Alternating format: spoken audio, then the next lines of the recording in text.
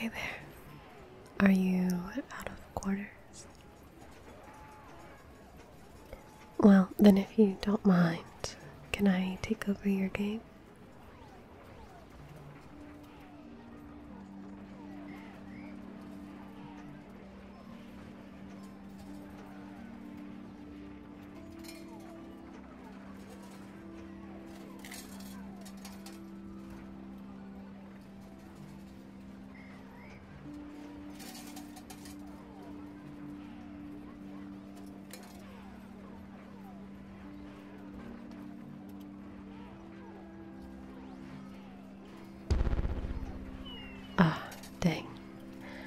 Wasn't fast enough. Oh well. You got pretty far though. I don't think I've ever seen anyone get that far. Well, besides me, of course. Of course I've gotten that far. Look at all the top scores. Those first five places are all mine. At least, they used to be. Looks like you've knocked some of my names off. You better put your initials in. You've earned it. Third place. Not too shabby, player. So, do you mind if I ask what those initials stand for? That's a nice name. I know it seems strange, but putting in my initials was always one of my favorite parts of these arcade. Like a badge of honor or something. By the way, I saw you win the jackpot on the tower tickets. You gave it all to some random kid. That was a nice thing to do. I kept my eye on you ever since. So tell me, player, what brings you to town? Of course, you're from out of town. This isn't your first time in an arcade, and I definitely would have noticed you before now. I work here, you see, so I know all the regulars. Okay, well, I was going to take my turn on this game, but since you're new here, I'll show you around. That one over there, Dragon Quest. It's one of my favorites. Not for its gameplay, but for the technical achievements. When most old games look like Pac Man and Donkey Kong, that old boy was using Laserdisc technology to give the illusion of controlling a cartoon. It made quite an impression. Over in that corner, where we have our golden oldies, Mrs. Pac Man, the aforementioned Donkey Kong, Centipede, Q*bert, and of course Joust. Over there we have Pinball Alley. We have some licensed machines based on movies and such, but in my opinion, if you've played one pinball machine, you've played them all. Ah, over there we have Fight Club, Mortal Kombat 2, Street Fighter 2, and one of our most popular, Soul Calibur 6.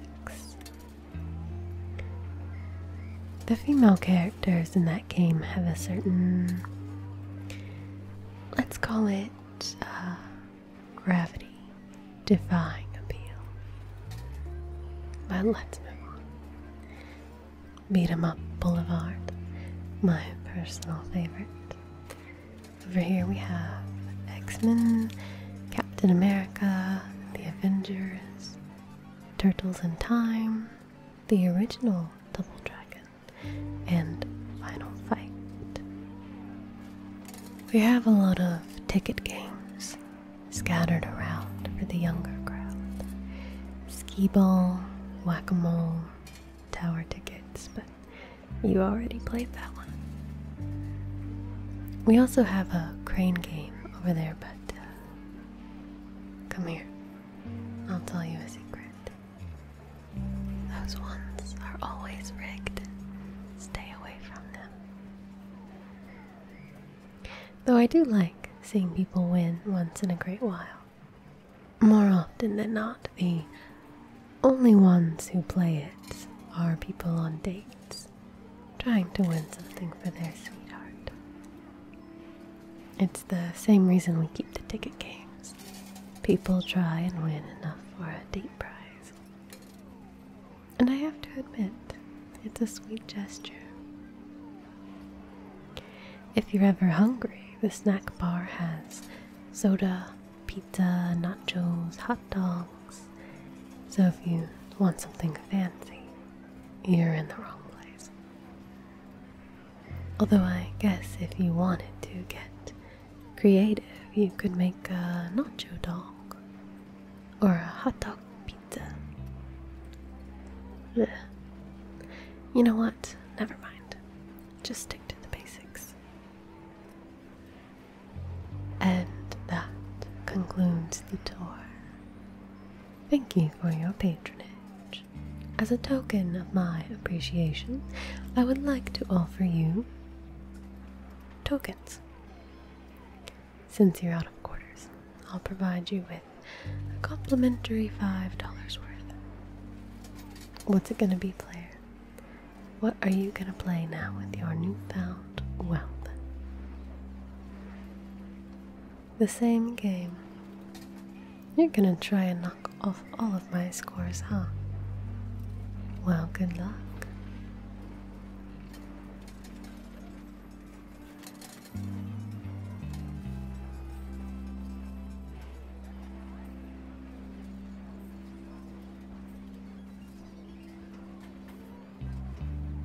Hmm, you've spent half of your tokens and you still haven't gotten any further. Are you sure you don't want to play something else? Are you sure? I do have one more game. One I can almost guarantee you've never played before. Yes, really. We don't keep it on the floor. It's something of a VIP experience. We only let advanced players take a crack at it. And you definitely qualify. So, what do you say, player? Interested? Well, if you're scared, I won't force you. I'll let you get back to your game.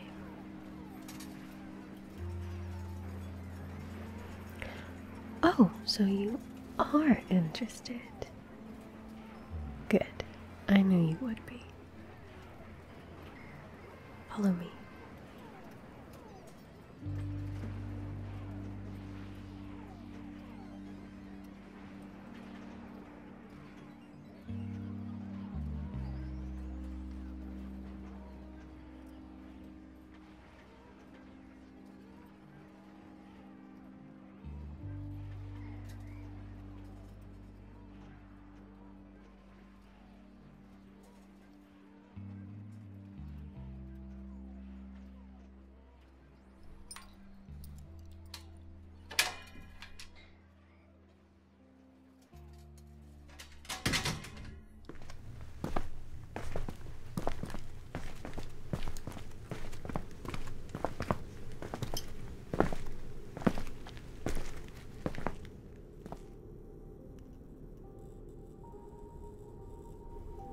This game is called Polybius.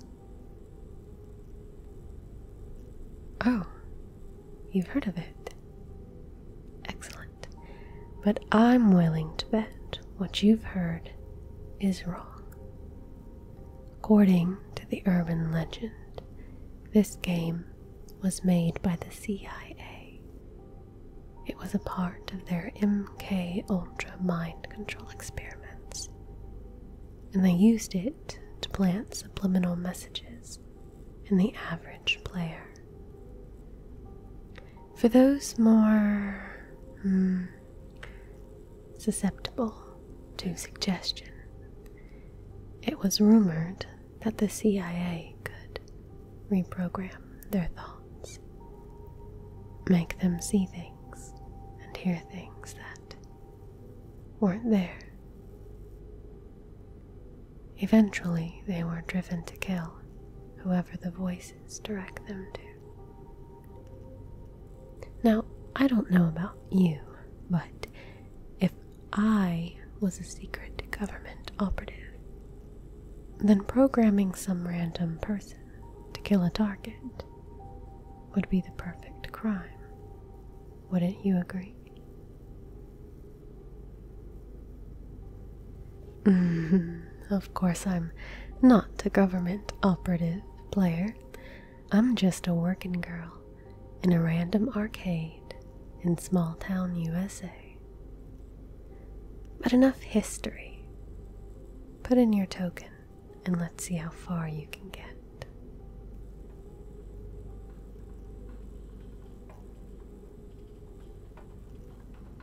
As you can see, it's a combat strategy game. You take control of a small band of commandos, and you have to fight off guerrilla fighters who are trying to wipe out a small jungle village. At the beginning of each level, the guerrillas offer you a bribe to quit and advance a level. Are you going to take it or help the villagers? You're going to help them. Good. Keep an eye on the timer at the top of the screen, though. Don't let it run out.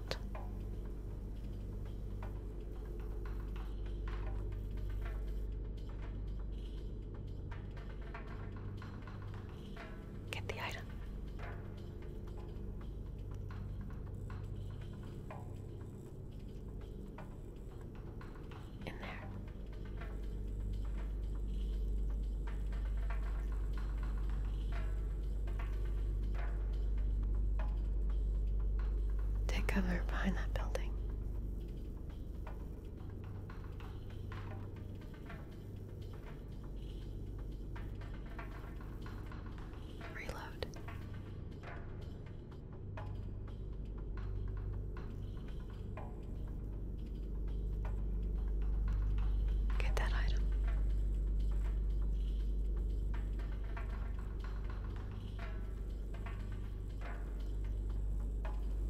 Not bad, player.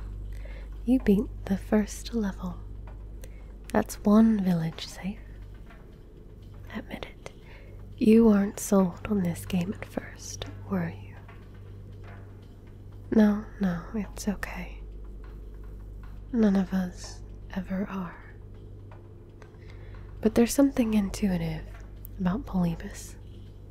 Something that pulls at you keep playing.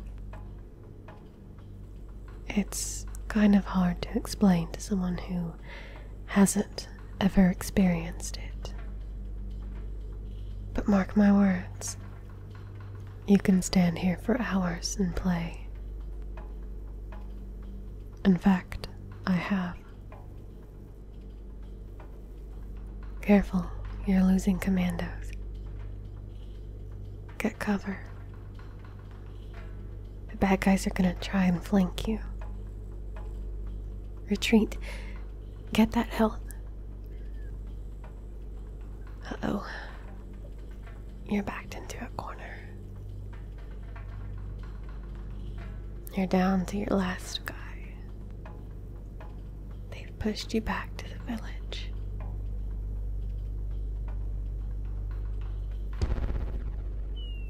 Oh, too bad. The guerrillas have captured the village. Do you have any more tokens? No? Well, I'm sorry, but I can't give you any more. But you should come back when you have more money. Oh, uh, one more thing. Don't tell anyone about this game. I mean it. If you do, well, let's just say it would be better if you didn't. So promise me, okay? Good. Let me walk you out.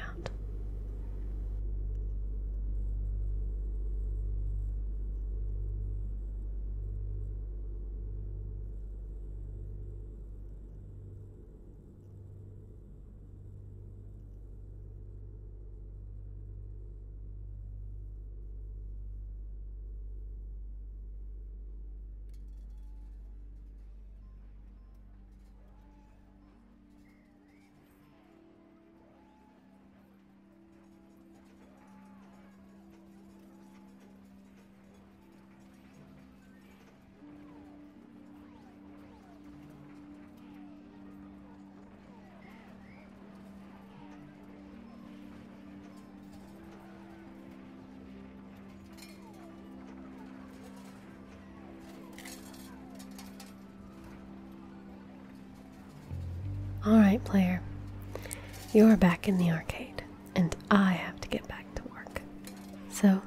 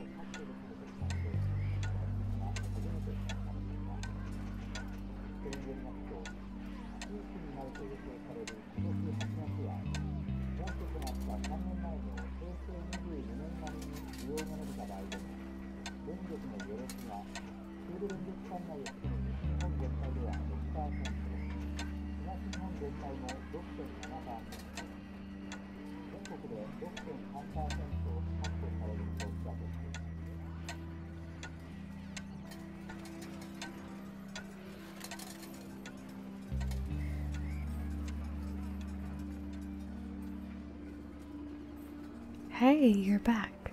I was hoping I'd see you again, but I didn't think it would be so soon. So, what's up? You wanna take another crack at beating my high score? You wanna talk in private? Sure, come on back.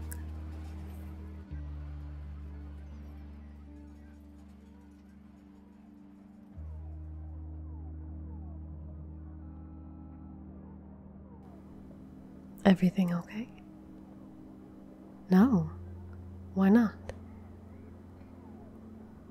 Yes, I've seen the news. What does that have to do with anything?